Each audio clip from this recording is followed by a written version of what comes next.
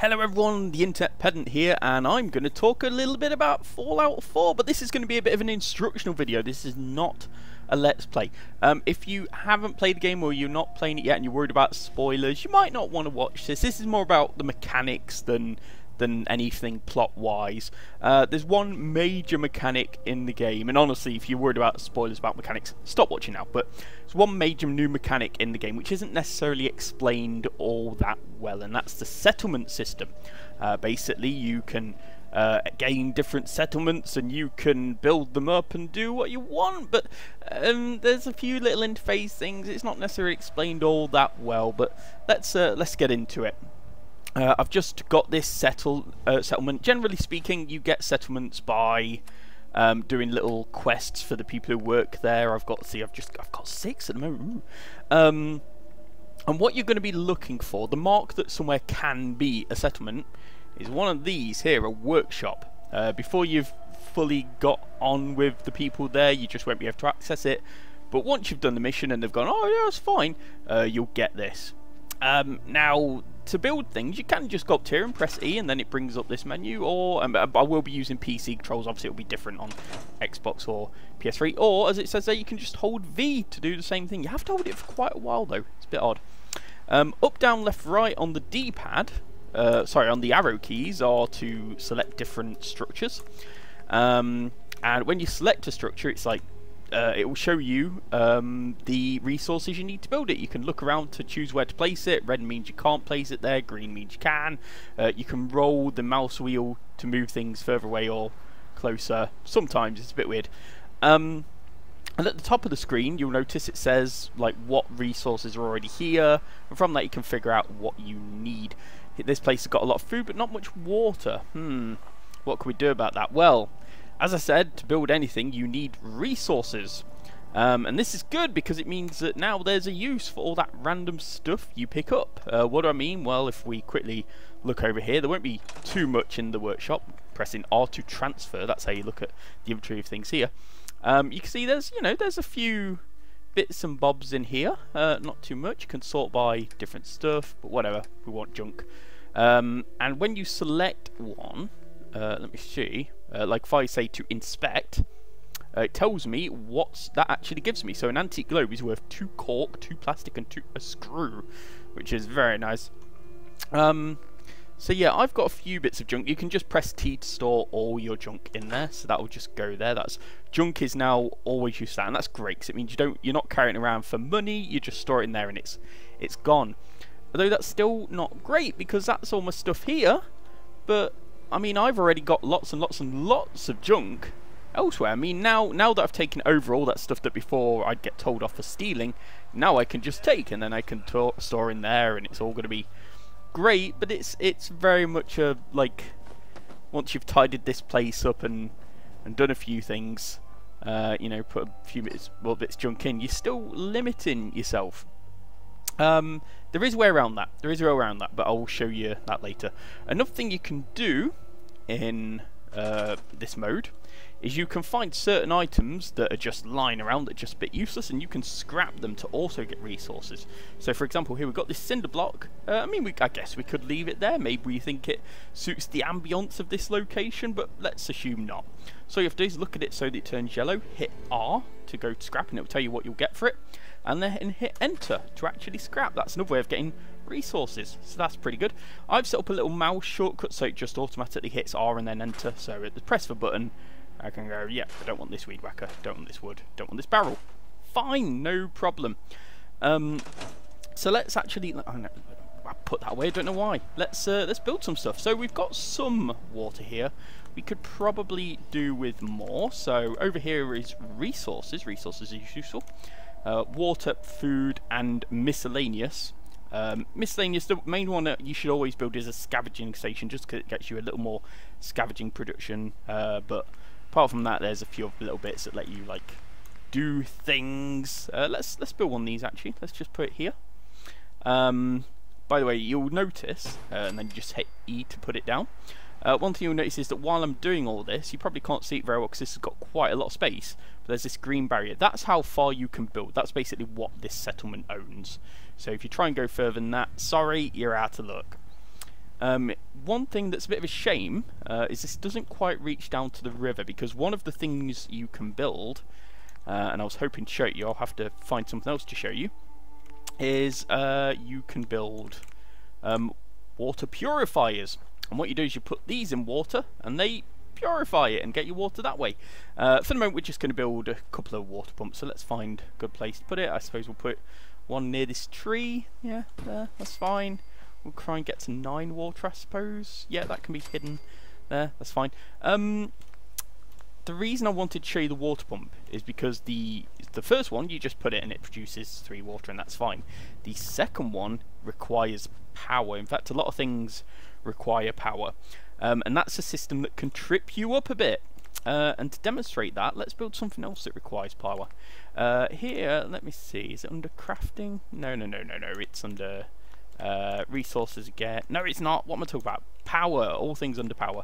Miscellaneous. And this is a good one to build. This is the recruitment radio beacon. Ah, but I don't have what I need. See, this is the problem. Not enough resources. I need crystals, I need copper, I need ceramics. I just haven't got what I need. But that is fine. That is something we can work around. Uh, another thing you can do while in the workshop mode, let's bring it back up. I don't know why I closed it again, but here we are uh, you can issue orders to different people. Um, scrap that. Um, this particular settlement, uh, we've got we've got a few Mr. Handies going around, which hopefully I'm going to be able to give an order to. So if you look at this, see, I, I can tell him, give him a command. So I can press E to give him a command, and then point him something, and it will look after that. Or what I'm going to do is I'm going to hit Q to set up a supply line, and then I can choose a place that he's going to be linked to. Um, these are all places that I've previously um, dealt with, so let's let's pick the Abernathy Farm. I think that's maybe the closest. Uh, assign supply line to Abernathy Farm, enter to confirm, enter. Right, so now what's happened, if I look at the map for a second, um, let's see. So here's all the, here's what I've found so far, I won't look at too many things, but if I hit C to show supply lines, all my settlements are connected. Those are all my settlements. And what that means now is if I go back to the um, construction thing, which is up here, let me show you. And this time I go to transfer and we look at what's there. What we'll see is it's got loads of stuff. It's got crazy. Actually, wait, that. Oh no, no, no, no. Sorry, it won't show up in there. But so apologies. Uh, step back. You still only see what's in that particular one. But when you actually go to build something, like say that radio tower look at all those resources tons of things because any that, that are linked by supply lines you share the resources um, and obviously they can link with the other ones that you've shared with so basically this is now everything I've got so uh, let's put a radio beacon down this is used to attract more uh, people to the settlement normally I wouldn't build this quite yet but we'll go for it so that can go there um, okay but that's not working yet because it needs power that's why it shows up in red so let's build a generator. You can build a small, medium, or a large. It's funny how these things work, isn't it? Let's uh, let's build a medium generator. Where are we going to put that? I know. Let's put it. Let's put it round the back of this building. You know, put it here. That's fine. Just by there. That's great, isn't it? That's a perfect place for this. Okay, so that's done. So now the radio beacon's working, right? I mean, that's I've got power. I've got it. It's fine. Yeah, yeah, yeah. No.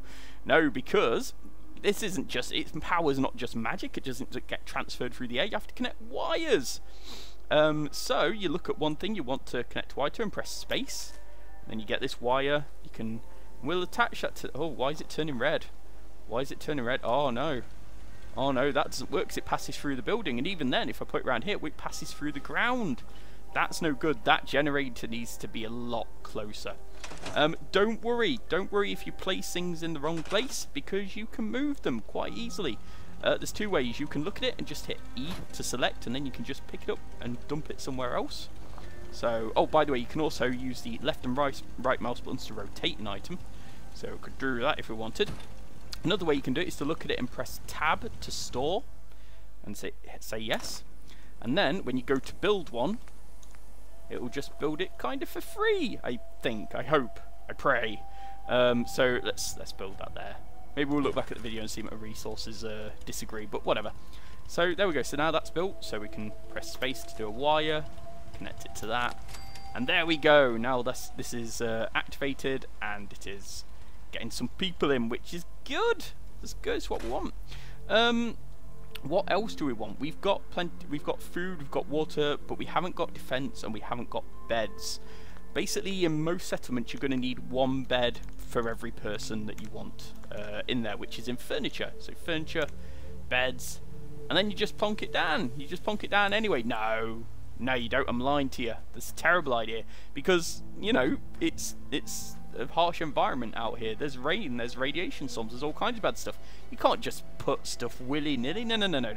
They need a building to lie uh, to live in. So let's find. Uh, this place is a bit difficult to build around actually, but we might be able to fit a nice little hut here. So let's uh, use a prefab one. You can you know, do your own thing, but I just I just go prefab.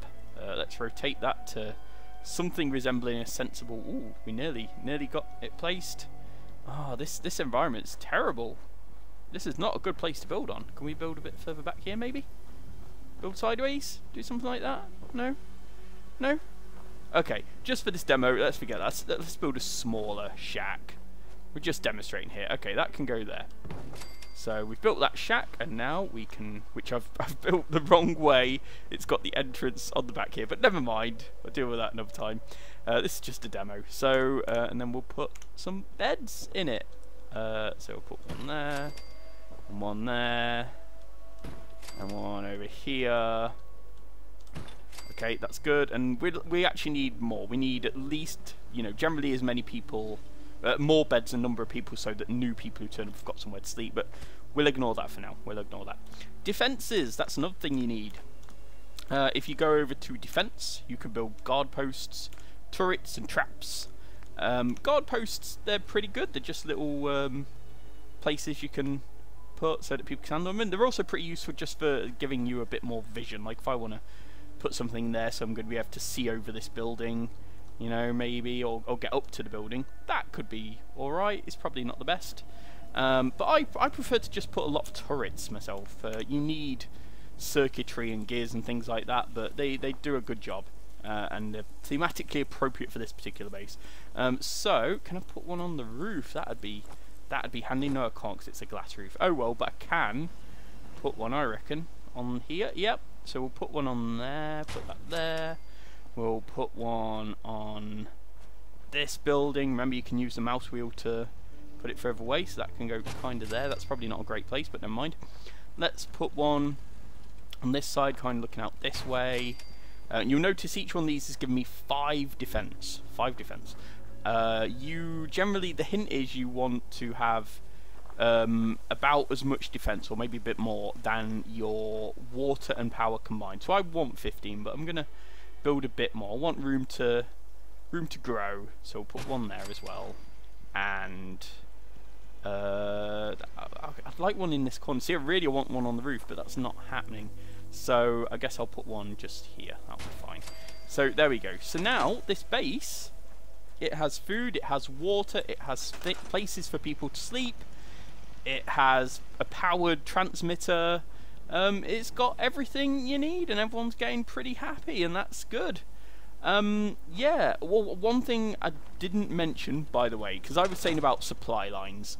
Um, and as, as I've shown, supply lines are really useful because it means you could just dump things in any of these and pick it up anywhere else, which is fantastic. But, but, but, but, you can't use supply lines at the start of the game until you've got a particular perk. So if we look at the perk chart, and down here on the charisma track we have local leader and you need to put one point in that to be able to set up supply lines. I definitely recommend at least going for that if you've got any interest in the uh, settlement mechanic at all because it's so useful to have those supply lines. You just never have to worry about ferrying um, stuff to and fro. You can just drop it anywhere and build anywhere, which is so convenient. Anyway, yep, that's it. That is settlements in a nutshell. Obviously, there's there's loads more in there, but that that sort of teaches you how to do everything everything you need to do. Oh, here's a here's a new settler. oh, that's great. You you uh, you yeah. Um, you just you, you just keep going. Anything? Not right now. See, they're, they're fine. They're happy because we've done a good job of building this settlement. Even people who've just turned up have got everything they need. Anyway, there you go. Um, thank you for watching, um, and I'll see you next time. Goodbye.